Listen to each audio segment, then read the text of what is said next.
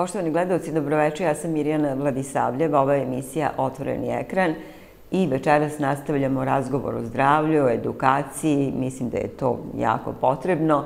E, družimo se i dalje sa članovima Akademije medicinskih nauka Srpskog lekarskog društva i večeras ćemo posebno govoriti o organizaciji hitne medicinske pomoći i sa nama je član Akademije medicinskih nauka Srpskog lekarskog društva, profesor dr. Velibor Vasović. Dobroveče i dobrodošli, doktore. Do, dobroveče vama i vašim gledalcima i bolje vas našu. Evo, drago mi je, iz Kule ste, jel tako, uspeli da stignete ovde kod nas e, u naš studio.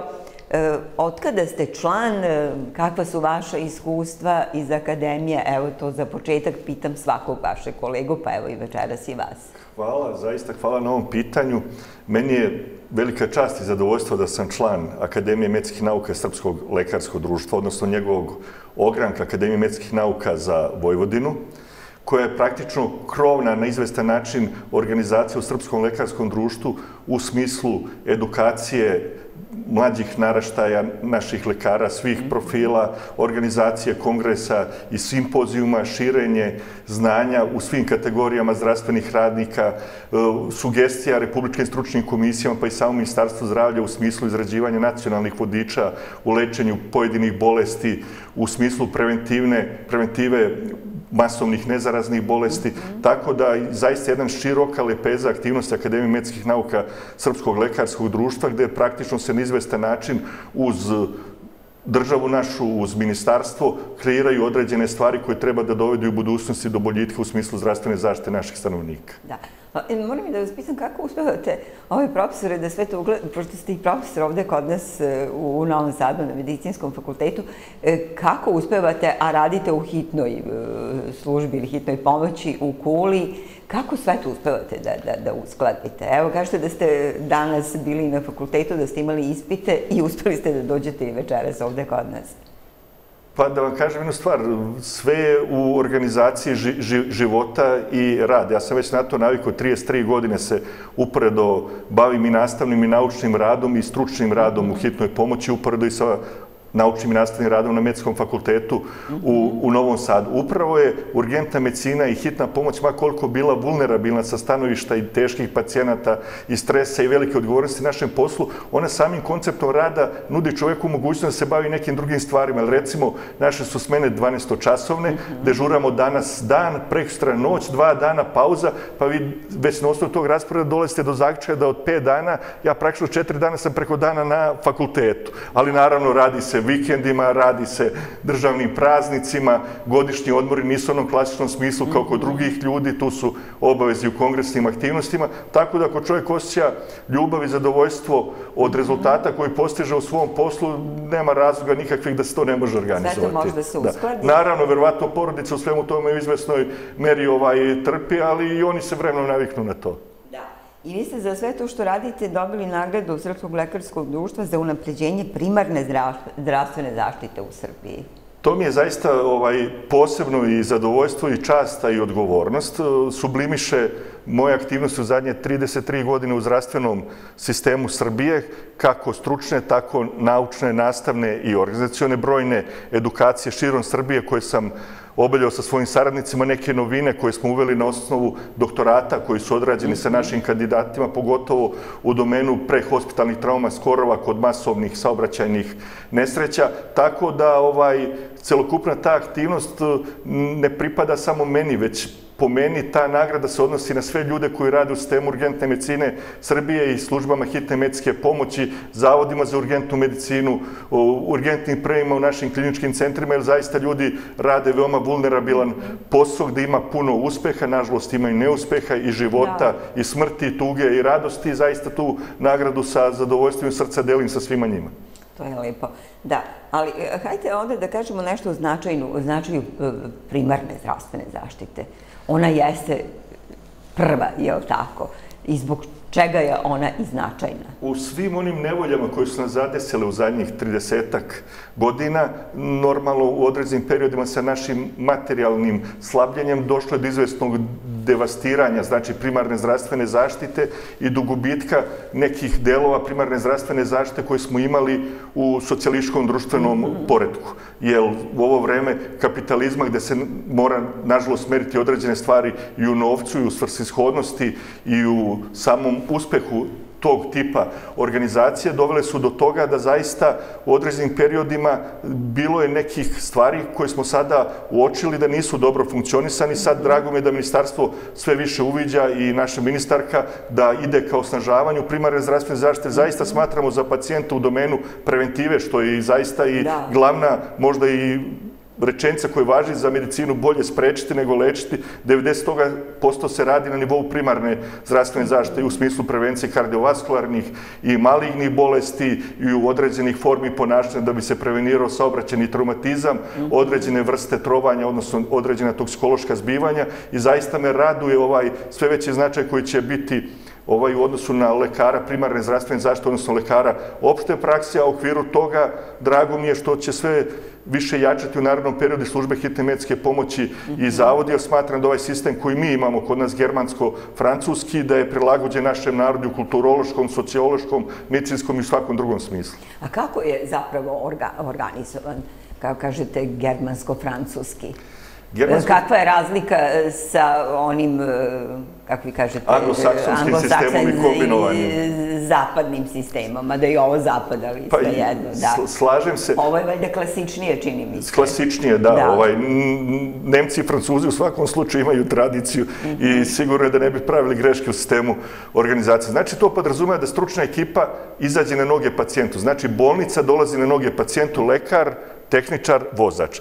Dok anglosaksonski sistem podrazumeva da se pacijent vozi u bolnicu, znači izlaze paramedikusi na teren, ljudi koji završite određene kurseve vezano za obuku iz kardiopulmocerebralne reanimacije i pružanja nekih drugih urgentnih usluga, za ostavljanje krvarenja, imobilizacije prelomljenih delova tela, obezbeđivanja vazdušnog puta, ali ni u kojem slučaju oni ne mogu da rade samostalno bez nadzora lekara, da. u okviru svojih kompeticija imaju samo da mogu dati manji broj lekova i da bismo mi prešli objektivno sa sistemom sistema na sistem sa našeg germanskog-francuskog na, ili možemo slobodno reći, sa našeg srpskog mm -hmm. sistema ili sistema koji vla, važi u okolnim državama, da. tačno, da. koristi se godinama, maltene od početka naše trebalo bi nekih 20 godina da prođe, mm -hmm. da se školuju deca za paramediku se od osnovne škole, srednje škole, tri godine fakulteta, tako da zaista i na Akademiji medijskih nauka, koju ste me pitali, koja zaista ovaj, mnogo znači našem srpskom lekarskom društvu, upravo zbog tog razvoja naučne nastavne organizacione misli u budućnosti budućnosti smo imali forum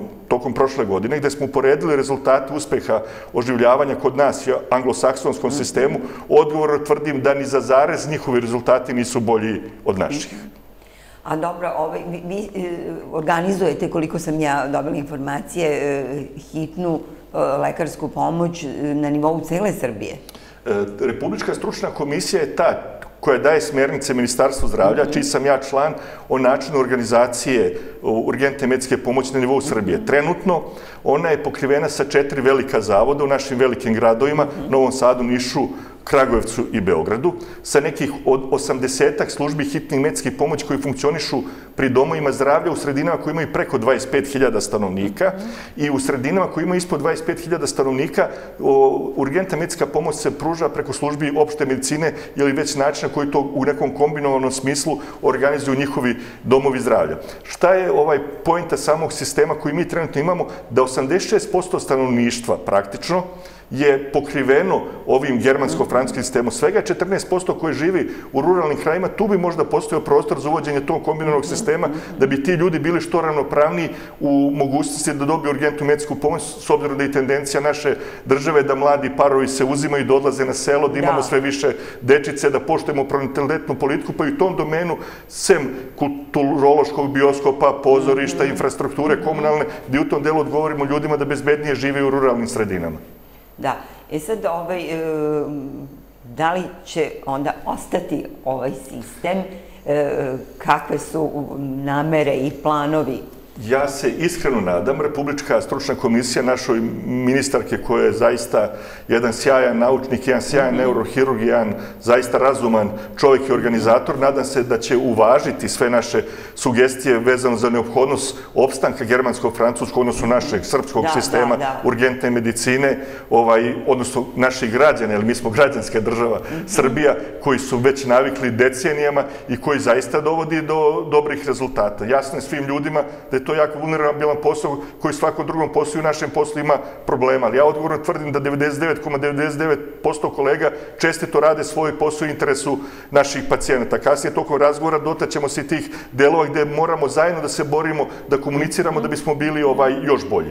Sem toga, mi ministarstvu predlažemo i algoritme kako da se ponašamo za vreme trovanja, za vreme udesa, hitne pomoći u Srbiji zavodi za vreme infarta, šloga i drugih stanja, a u najskorije vreme nadam se da ćemo omogućiti ljudima koji rade kod dispečera gde objektivno najveći problem postoji, da li je to objektivan ili nije objektivan teren, da li je prvog ili trećeg reda, da i tu damo određene smernice koji će olakšati rad tim ljudima koji rade taj segment posla u domenu hitne pomoći. E sada prelazimo na ono što pretpostavljam da i naše gledalce najviše zanima. Koji su to najčešći pozivi? E, urgentni i, i, i pozivi gde vi, vi najčešće ovaj, morate da brzo reagujete? To je vrlo bitno što više da razgovaramo na tu temu sa našim stanovnicima, da oni shvate šta je to nama prvi red hitnosti. To su Da. sve oni pozivi gde dolazi do gubitka svesti, prestanka disanja i rada srca i to su pozivi gde mi krećemo odmah u toku iste minute od prijema poziva krećemo na teren. Onda postoje pozivi koji su vezani za novonastali akutni bol u glavi, bol u grudima, bol u stomaku, za aktivna krvarenja, za velike opekotine, za akutna gušenja, za pretnju od akutnog infarta miokarda ili, inzulta, odnosno akutnog infarta centralnog nervnog sistema, bez obzira da li je ishemijski ili hemoragijski. Akutna stanja u stomaku, počevši od spleta creva, narodnim jezikom, odnosno ileusa, peritonitisa, upale trbušne maramice, intraabdominalne hemoragije, porođaja na terenu, raznih saobraćenih incidenata, raznih povreda na radnom mestu. To sve situacije gde mi isto izlazimo u toku prvog minuta ako imamo auto na raspolaganju. Ako nemamo auto na raspolaganju, trudimo se da maksimalno vreme našeg izlaska se produži na par minuta. I tu želim da kažem ključnu stvar da Institut za javno zdravlje Srbije Milan Jovanović Batut nama meri ta vremena i uspešnost našeg rada. Vreme od prijema poziva do našeg izlaska na teren je jedan minut. To je reakcijno vreme jedan. Vreme od izlaska ekipe na teren do stizanja do mesta incidenta ili do naših pacijenata je negde od 7, 8 do 9 minuta. To odgovara evropskim prosecima. E sad je tu jako bitan deo priče da mi ponovo vratimo od osnovne, srednje škole, fakulteta, obuku mladih ljudi vezano za prvu pomoć, za kardiopulmonalnu reanimaciju, da oni nama pomognu dok mi ne dođemo na mesto incidenta. Svaki pritisak na grudni koš masaža srca nama omogućava da mi veći broj ljudi oživljamo. Tamo gde se mi nađemo u roku od 3-4 minuta, gde postoji još dovoljna količina oksigenirane krvi u plućima, mi tu možemo da spasimo i do 50% ljudi. Nažalost, ako prođe 10 minuta, a niko nije radio reanimaciju, mi izlazimo na klasično mrtvozorstvo. Mi trebamo da vratimo i srce i pluće posle 10-15 minuta, ali nažalost ti unesrećeni mogu samo služiti za donaciju organa u domenu transplantacione medicine. Zato je bitna zajednička reakcija celoga društva, da naši ljudi shvate šta je to nama prvi red hitnosti na što mi moramo da izađemo odmah, da imaju solidarnosti prema svim drugim ljudima i našim sugrađanima, jer upravo zbog toga mi snimamo sve telefonske razgovore, da zaštitimo pacijenta od nas, a i nas od pacijenta. E, Jako je nama teško kad nas upute na teren prijave kao prvi red hitnosti, a nažalost mi dođemo tamo ispadne da je to treći ili četvrti red Da. i da uopšte ne odgovara onome što je nama prijavljeno. I za to vreme, i to je nama bolja varijanta nego da nismo izašli na nešto na što smo trebali. Ali nažalost i u tim okolnostima to nam okupira naše kapacitete i možda ako se istovremeno desi neko drugo hitnije stanje, mi ćemo na njega zakasniti jer smo izašli negde gde nismo trebali. Da. I sad imate situaciju, mi smo za lekarsku grešku osigurani na 10.000 eura. Ljudi ovaj, u Americi su osigurani na milion ovaj, dolara. Mi ne bežimo od toga da treba da odgovaramo za svo naše i činjenje i nečinjenje. I moramo da budemo i odgovorni, i ozbiljni, i stručni ljudi i svakodnevno, nažalost, postoje situacije koje su vulnerabilne i gde postoji razmatranje te teme u lekarskoj komori i u sudu časti lekarske komore na sudsko-medijskim odborima, ali zaista mi se tu maksimalno fair i korektno odnosimo prema našim pacijentima. Mi ne spominjemo uopšte u tim situacijama da se postoji pitanje naše odgovornosti, ni što smo bili na drugom terenu i što nismo ovde došli za 7, već za 9 minuta. I to je ono što je meni bitno u ovom našem današnjem ili večerašnjem razgovoru, da, da naši ljudi shvate da imaju to po meni, to sam im predlagao, kad sam držao predavanje u Matici Srpskoj, vezano za urgentnu medicinu, predlagao sam da otprilike taj spisak hitnih stanja postoji u svakom domaćinstvu i da postoji postupak šta da oni rade dok ne izađe hitna pomoć ako je neko izgubio svest, disanje ili rad srca, što se lako proveri ovaj, proverom vitalnih parametra, ne znam koliko će vreme dozvoliti, da li će moći to da ispričam, ali to je zaista jednostavno. Mi nam... Ali da, da izvinite što vas prekidam, da. pa šta je tu problem da se to napravi? Pa nažalost... Da taj spisak postoji, mislim. Većina, većina naših ljudi... Ko bi to trebalo da organizuje? Mi to, mi to radimo prvo na nivou fakulteta, sad na prvoj godini nismo pred COVID krizu dozvolili nikom da se overi semestar dok svi studenti ne prođu kurs iz kardiopulmonalne reanimacije. To se odnosilo i na ceo naš univerzitet u Novom Sadu. Druga stvar, ljudi koji rade u službama urgentne medicine moraju stalno da prolaze trenižne procese i da budu vični tim medicko-tehničkim radnjama koje nimalo u pojedinim situacijama nisu laki. Da. Druga stvar, svi ljudi u zdravstvenom sistemu Srbije postoje alternative iz uspostavljanje vazdušnog puta i venskog puta kroz supraglotična sredstva, iGel, intraosalni pištolj, gde nema promašaja da se promaši venski vazdušni put, jer kod svakog vitalnog ugroženog pacijenta to moramo imati da bi se uopšte mogli da pričamo o stabilizaciji i spašavanju tih pacijenata. Druga stvar, u našoj komunikaciji s pacijentima mi telefonom kažemo šta da rade do momenta dok ekipa stručna ne izađe na lice mesta, ali mislim da tu i vi kao mediji neizmerno sam zahvalan što ovaj vid emisije vi vodite, omogućite našim stanovnicima da čuju malo širu priču i kako možemo da svi budemo bolji i da se bolje ovaj organizujemo. Znači, ja vidim prostor da ponovo, ko što je nekada bio školski program, da ide od najmlađe da. generacija obuka kardiopulmonalne reanimacije, svi ljudi koji su zaposleni u državnim firmama da to moraju da savladaju, pa i u privatnim privrednim subjektima, jer zaista nam je od zajedničkog interesa. Mi, nažalost, i dan danas nailazimo da nas ljudi psuju, da plaču, da se ljute, a redko ćete koga videti da je kleknuo na kolena pored nesrećene osobe da masirao srce i dao da, veštačku da. ventilaciju do našeg izlaska.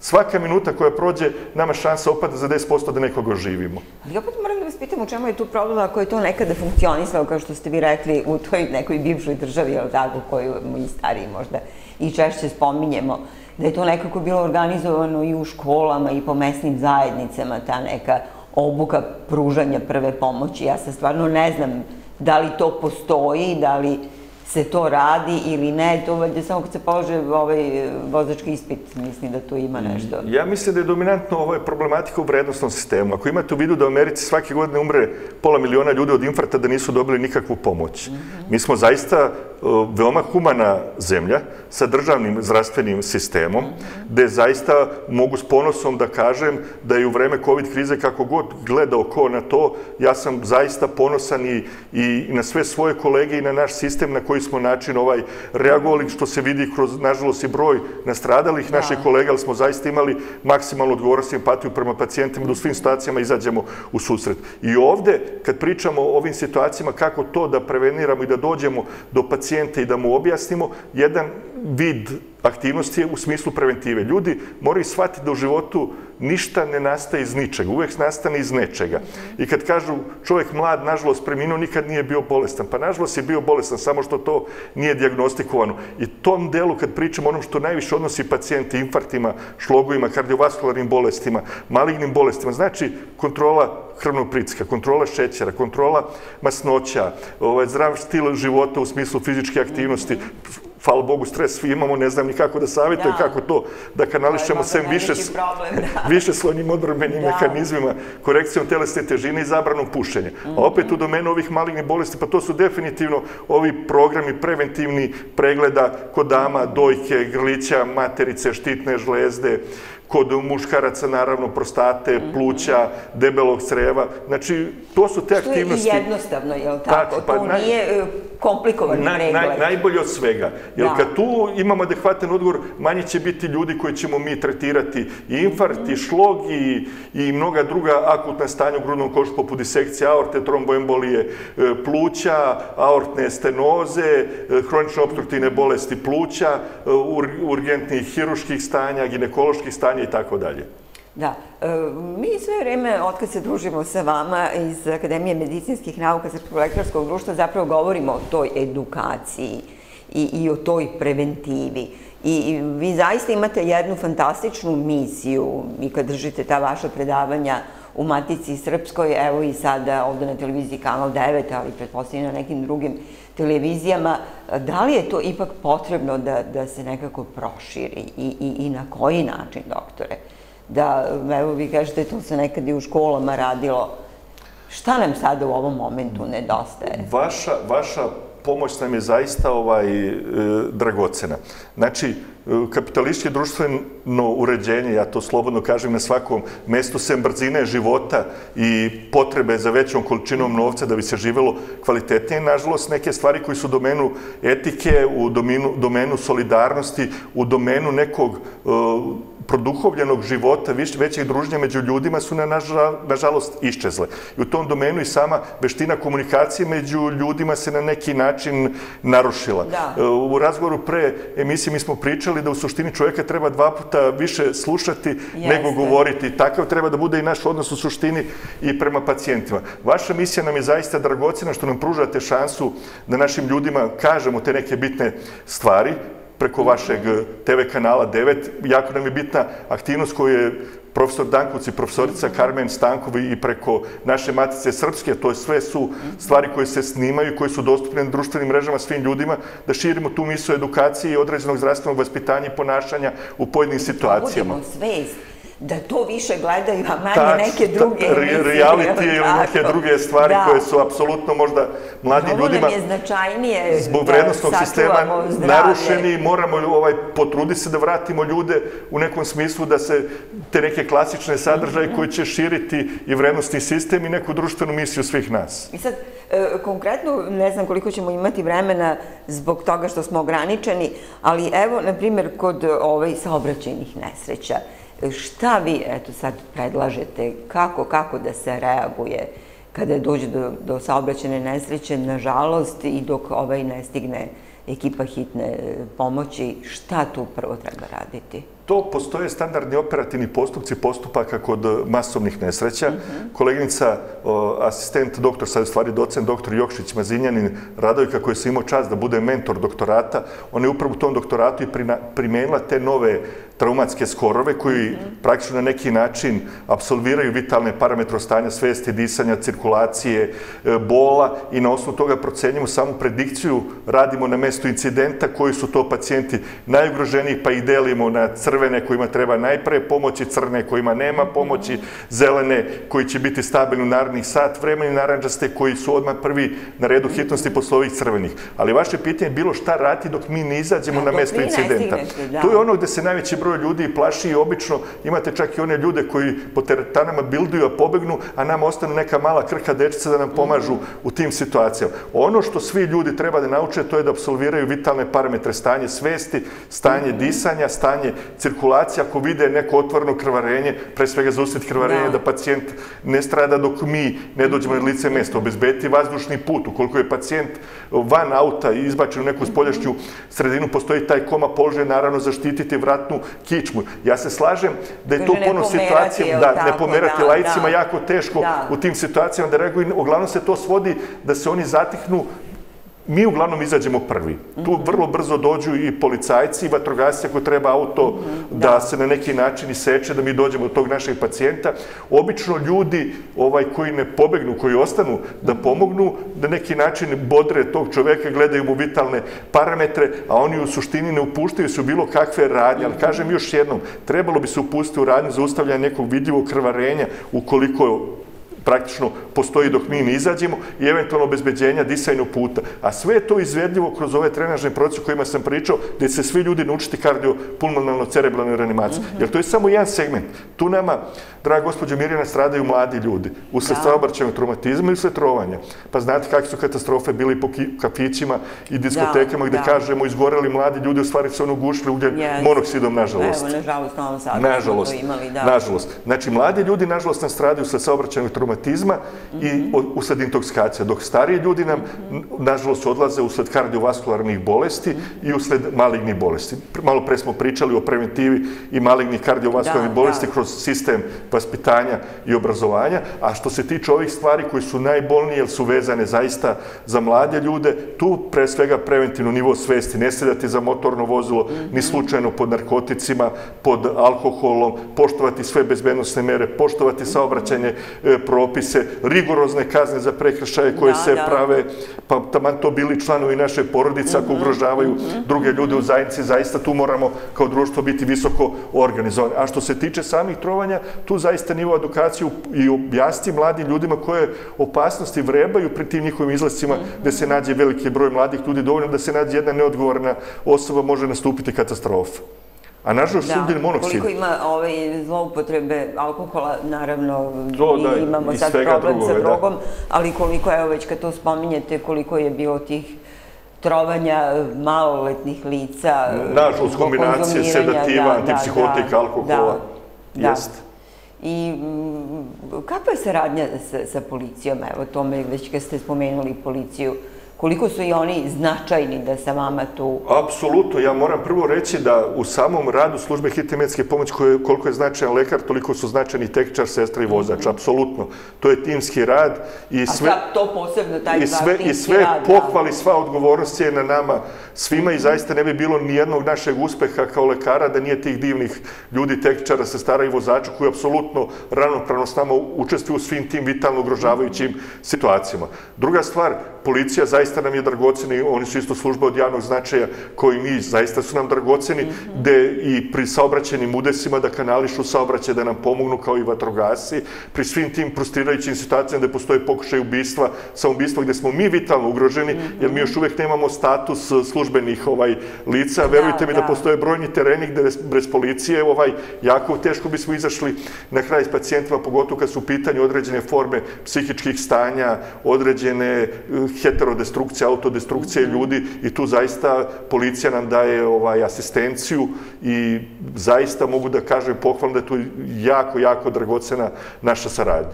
Da, evo dok vas slušam, onako ovaj, pokušavam da, da, da se setim u kakvim sve situacijama morate da, da reagujete i koliko su to zaista i opasne situacije i za vas i, i za, sve oni, za sve oni koji rade u, u hitnoj pomoći. Ali u jednom momentu ste spomenuli porođaj, to moram da vas pitam, koliko je takvih slučajeva kada krene po zlu, pa pacijentkinja ne može da stigne do, do bolnice. Na svu sreću, tamo gde nama pođe po zlu, to je već peti i šesti porođaj. Mm -hmm. I mi ga samo u naručje prihvatimo, znači, podvežemo tako, povčanik da. i uradimo što treba. Imate slučaje po tim našim e, romskim naseljima gde e, rađa se veći broj mm -hmm. dečice, da već i deca noše naša imena iz razloga što su nama u naručje dospali. To je nama taj deo posla zadovoljstvo. Muka je tamo gde na terenu porođaj ne krene kako treba, pa pukne vodenjak, pa se mi tu trudimo da ipak što brže prevezemo pacijentkinju u adekvatnu ustanu gde se to može po svim stručnim nadzorima uraditi u regionalnim bolnicama gde su ljudi mhm. akušeri, ginekolozi koji to rade daleko bolje od nas. Ali taj val bolnički porođaj tamo zaista gde to ide prirodnim putem i gde su višestruki porođaj ne predstavlja to nama mhm. neki naročito ovaj problem. Može nam predstavljati problem ako imamo neki drugi teren u tom momentu kad se to dešava na drugom da. mestu. Jer mi obično, ono što moram da naglasim, jedna ekipa hitne pomoći na 4000 stanovnika u mnogim situacijama to nije dovoljno. Mm -hmm. Čak nije ni bitan ni broj ukupan ekipa u nekoj službi hitne medicinske pomoći, već broj ekipa u jednoj smeni. Da bismo i ole mogli da funkcionišemo u svim sredinama preko 30.000 stanovnika, tu moraju da postoje bar dve ekipe u smeni. Jer zamislite samo jedna ekipa da ode recimo u Novi Sad ili Beograd ili da. neku regionalnu bolnicu, ko će to da pokriva? Opšte praksa će pokriti tokom mm -hmm. dana, ali ko će pokriti tokom noći? E, naša susedna država Ovaj, Hrvatska je pokušala neke stvari da uvede u, pa, u pravcu paramedikusa, pa naslov u nominama na Korčulu se utopilo dete, nije imao ko da izađe. Mm -hmm. Zagrebačka, o, Osječka županija, politraumatizam premesi u Zagreb, pa dođe iz susednog regiona, stane na granicu, mm -hmm. kod je lov na zečev ili čeka, pa čeka gde se šta desilo. Oni su ljudi izračunali da je to njima ekonomski unosnije, da. ali preti i velika opasnost. Ja sam zaista ponosan što Srbija kao država i dalje održava taj nivo svesti o neophodnosti tog načina organizacije službi hitne medicinske pomoći, jer to nisu službe koje donose prihode, to su službe da. koje donose rashode. Ali da. opet mi postavimo s druge pit, strane pitanje šta je skuplje od ljudskog života. Mm -hmm. Zaista smo mi najsrećniji i najzadovoljniji, to nam daje snagu da izdržimo sve teške situacije i nelagodnosti koje doživamo neprijatnosti, samo kroz te spašne živote i ljude koji gledamo kako posle na ulici šetaju, žive sa svojim porodicama i od, od tog bogatstva po meni veće bogatstvo ne postoji. Da.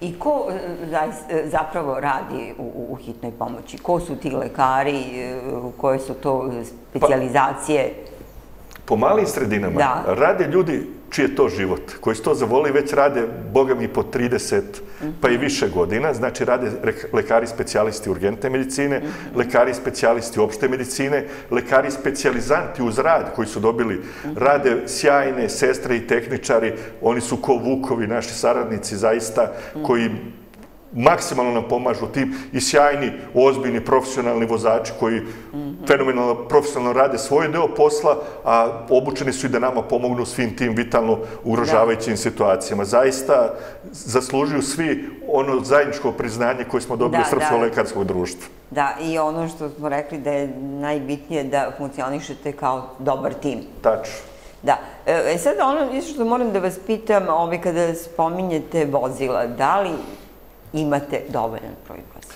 U ovom trenutku da. To se menjalo u periodima kad je našoj zemlji bilo teže ili lakše i sve zaista u zadnje vreme imamo adekvatan broj vozila sa punom opremom koji imaju i sve druge hitne pomoći i u Parizu i u Londonu -hmm. i bilo gde u svetu. Znači imamo tu opremu, defibrilatore, respiratore, EKG aparate, -hmm. aspiratore, znači vozila koje, ali ono što je bitno shvatiti sve to dinamičan proces. Posle određenog vremena mora se zanavljati i vozila i I oprema. moramo dovoditi nove nove mlade ljude koji će da zavole urgentnu medicinu, da završavaju te specializacije, da to je zaista jedan od najodgovornijih zanimanja u svetu medicine, najvulnerabilnije, da. gde smo svi mogućim ovaj, e, kritikama izloženi. E, krov bolnice pokriva mnoge situacije da pacijenti nemaju pristup naravno tom njihovom čestitom i visoko stručnom načinu rada, a mi, nažalost, kad izađemo u neku porucu da je neko doživeo srčani zastoj, jako teško ćete nekoga izmoliti da izađe iz prostorije, da, da vi reanimirate nekog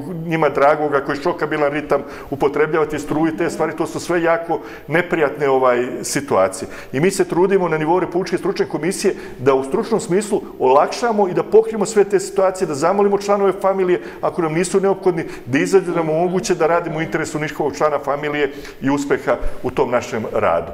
Znači, široka je lepeza ljudi koji rade u službama hitne medicinske pomoći, to su stručni ljudi, ozbiljni ljudi, odgovorni ljudi. Nažalost, postoji pojedinci koji ili se umore ili ovaj ne žele više to da rade. Ako bi to gledao čovek kroz novac, verovatno to nikada ne bi da. ovaj ni, ni radio.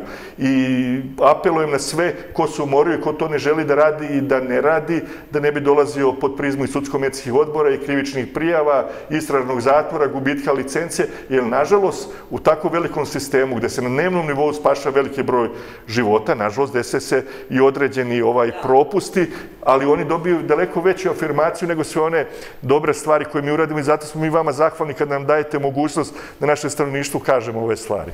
Da, koliko je zapravo i stresan taj vaš posao? Je se vi svakoga dana ili već naravno kada, kada ste ovaj na terenu suočavate baš sa tim da spasavate živote? Da je neči život u vašim rukama. Koliko je to stresno i koliko sad, kad se kažete, neko ne može više to da izdrži i da to radi? U, u svetu, obično ljudi ovaj posao rade od 10 do 15 godine, dobiju sjajne penzije, odu da se mhm. odmaraju i zahvale im imaju stalne trenažne procese da vide da li oni to uopšte mogu više da, da rade. Mm.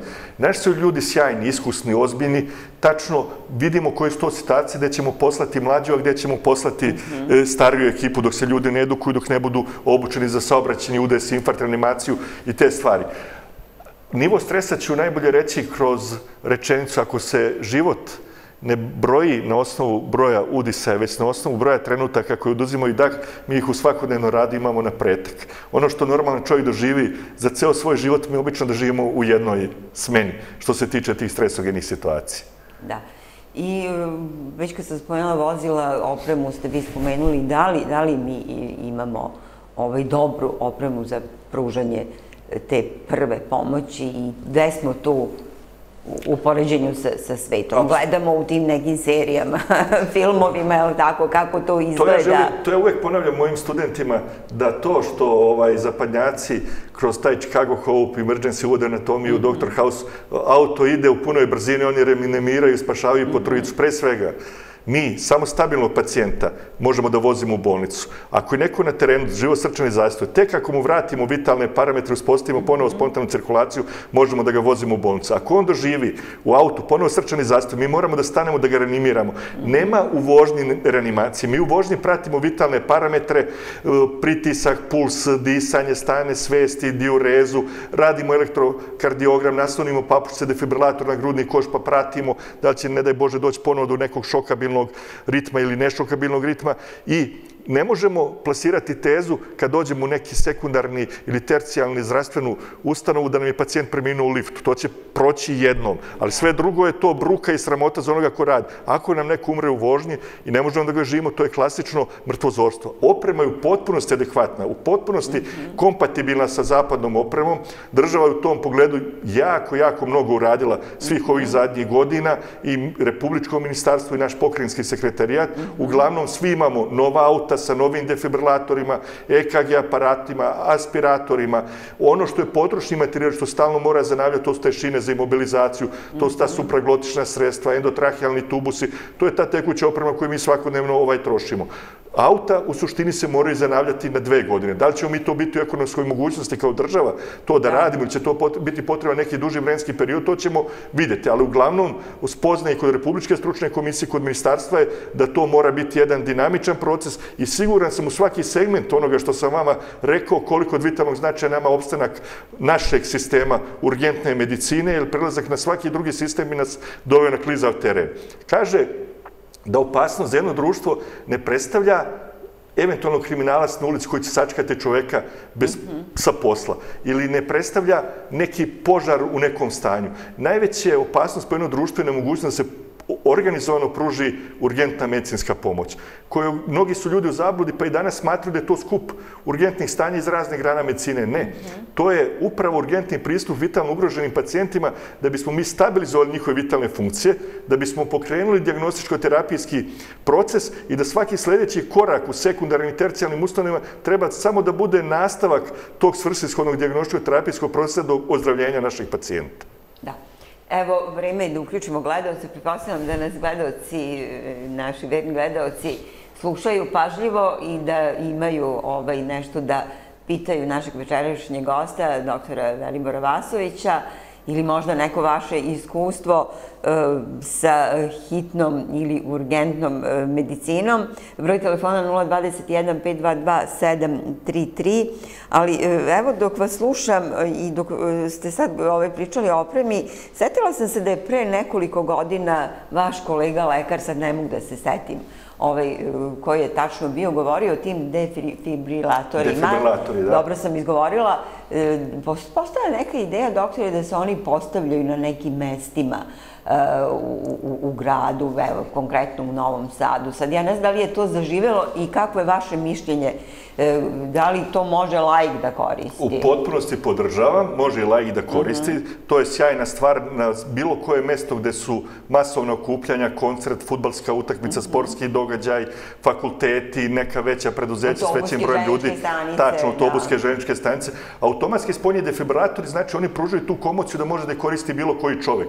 Ovi defibrilatori koji mi koristimo bifazni, oni imaju ekran gde mi prepoznajemo šokabilne i nešokabilne ritmove. A ovde kod tih automatskih spoljnih samo se nalepe elektrode na adekvatne delove grudnog koša i sam aparat kad se uključi kaže isporuči šok ili ne.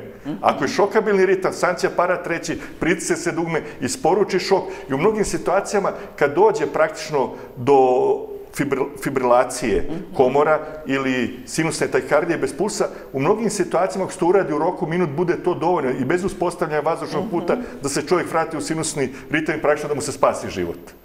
Znači, to i lajci zaista mogu da urade. Da, a da li, da li je to negde postavljeno? Pa ja, ja sad ne mogu da se setim da sam ja to negde videla, videla sam negde Na našem medicinskom fakultetu je bilo jedno vreme taj mhm. spoljašnji, zna da u, kad se rade pojedini koncerti, da tamo gde takvih mogućnosti nema, ide da obezbeđuje služba hitne medicinske pomoći, sportske događaje mm obezbeđuje služba hitne medicinske pomoći, a zaista smatram u budućnosti da ta dva procesa treba da idu i kompatibilno. I služba hitne medicinske pomoći, a da bude i mogućnost automatskog spoljnog defibratora koji može svaki čovjek da koristi kroz adekvatno adekvatnu obuku koja ne treba da traje duže od pola sata, sat vremena. Da, evo sad kad ste spomenuli futbolske utakmice i koncerte, koliko kada se tako nešto, možda evo, Exit u Novom Sadu ili, ili neke futbolske utakmice kad se održavaju, koliko vi morate da budete u, u, u, u pripremi i da ste u, drugačijem stanju ovaj, pripravnosti? Pa pošteno da vam kažem, pošto sam čovjek koji sam sedeo 22 godine na klupi futbolskog kluba Hajduk iz Kule, mora da bude jako u pripremi i da, da. Bude, i da bude u službi toga kluba, jer tu postoje i mlađe generacije, i seniorski tim, i njihove mm porodice, i preventivni pregledi, i kompletne laboratorije, ultrazvukovi, testovi opterećenja, jer dovoljno je, ne daj Bože, da se desi jedna incidentna situacija, nažalost se deš, dešavale, se, da. dešavale, da je ovaj, to dobije uh, zaista tragični katastrofalne razmere, to su mladi, mladi ovaj ljudi. I u tim situacijama dovoljna je i mala dekoncentracija pa da ovaj e, zaista budemo svi u zajedničkom problemu. Ja tu najviše apelujem na roditelje. Najsprešniji im je život njihove dece i njihovo zdravlje. Bavljenje sportom je lepo i zdravo u uslovima gde postoji mogućnost, zdravstveni preduslovi za takvo nešto. U svim situacijama gde velika većina lekara primeti da nešto nije u redu, to zaista mora jako ozbiljno da se prati, prati, jer kažem još jednom, sport je sjajna stvar, ali ako postoje zdravstveni problemi, moramo biti jako oprezni. Tu bi zaista apelovao i na roditelji male dece, ako su deca u nekoj virozi pod temperaturom, ni za živu glavu puštati na sportske aktivnosti, jer sve ono što se dešava na respiratornim putima može da pređe i na srce u domenu nekih upala srčanog da. mišića, što će kasnije proizvesti po život opasne poremećaje srčanog ritma. I opet se vraćamo na ono, na preventivu i, i podizanje svesti o našem zdravlju. Sad ovaj, kad ste to uh, govorili, setila sam se da su neki sportisti koji su zdravi, jel tako, bavili se sportom, igrali futbal i, i desilo se da uh, od srčanog udara ili već od čega, da, da, pa, da. Iskren da budem, postoji velika dilema u udruženju kardiologa i evropskim američkom koliko je vrhunski sport zdrava stvar. Mm -hmm. Govorimo o vrhunskom sportu da. i o trenažnim procesima koji vladaju u vrhunskom sportu. Postoje i za dokazi, postoje dokazi i, i protiv. Ali tamo gde mi primetimo u zdravstvenom smislu na osnovu rutinskih pregleda, laboratorije, elektrokardiograma, ultrazvuka srca, testa opterećenja, odnosno holtera pritiske elektrokardiograma, gde primetimo da određene stvari ostupaju od normale, zaista u tom delu moramo biti konzistentni i moramo to pratiti maltene na svaka tri meseca i pod rigoroznom kontrolom imati takve ljude da se ne bi desile neke nesretni slučajevi. I evo, vraćamo se na medije, imamo još toliko vremena, nadam se da će se možda neko i uključiti. E, mi smo skloni u poslednje vreme, evo sada, otkad imamo ovaj internet, društvene mreže, da više verujemo internetu, društvenim mrežama, pa onda tako ovaj, naletite na upustvo kako da se ponašate ako imate ovaj, infarkt ili, ili moždani udar, e, koliko je to, tu ima i zloupotrebi, koliko to možda bude opasno? E, društvene mere su u onom domenu dobre, u kom segmentu učestvuju ozbiljni stručni ljudi da, i je njihova praktično izlaganja po pojedinim problemima e, društvene mreže uzmu kao praktično parametre na osnovu kojih će edukovati šire slojeve stanovništva. Sve što ide od ljudi koji nisu iz tog domena može biti i vulnerabilno i opasno po pacijenta. Znači, postoje tačno određeni kriterijumi. Kad nam čovjek prijavi bol u grudima, to što ste vi pitali, akutni infarkt miokarda, ili bol u glavi, ili gubitak svesti, tačno postoje anamnestički šta mi pitamo u fizikalnom pregledu, šta gledamo, instrumentalnom šta merimo i postavljamo dijagnozu. Nažalost, koliko su te situacije opasne po život, toliko su one sa staništa naše diagnostike mnogo lakše u odnosu na neke druge situacije. Mi već na terenu prepoznamo infarti i šlog i dajemo inicijalnu terapiju koja je svuda po algoritmima u svetu u tim situacijama. I to je upravo i produžilo ljudima ljudski vijek, jer na vreme dolazimo do regionalnih centara, do naše kamenice gde ljudi rade stentiranje, gde praktično srčani mišić ostane intaktan i njegova pumpna sposobnost, odnosno ta ekcijona frakcija koju mi merimo. A to je upravo zahvaljujući pravovremenoj reakciji službi hitne medske pomoći, pravovremeno datoj terapiji i pravovremeno dolasku pacijenta u ustanove, gde će se problem definitivno rešavati. Znači, ako ljudi prate društvene mreže, ljudi na društvenim mrežama mogu naći i predavanja ljudi koji su visoko kompetentni iz pojedinih da. oblasti i niko od nas nije za sve grane medicine. Imamo mm -hmm oblasti s kojima se bavimo. I tu ne sme da postoji nikakve sujete da šaljemo kod kolega koji bolje od nas rade stvari, jer su kompetentni da, da. pedijatri za decu, ginekolozi naravno za dame i te preglede. Mi urgentaši sarađujemo i sa internistima i sa hiruzima i sa ginekolozima, bukvalno sa svim granama medicine. I mi prihvatamo da mi ne možemo da znamo kao oni što znaju te oblasti. Da. Ali ono što je naš deo posla, da sprečimo da neko ne strada pre hospitalne ustanove, da mu vratimo... I da se ne iskomplikuje nešto. to je naš deo posla. Da. E, pošto se niko ne javlja, a ostalo je pet minuta do kraja emisije, e, ovako mi ćemo ovaj, e, polako privoditi kraj ovaj razgovor i ono što bih ja i uvek to radim, na kraju opet spomenula akademiju i, i značaj ovaj, vas koji, koji ste tamo u edukaciji, ali e, koliko je to dovoljno, koliko mi sami moramo sebi da pomognemo?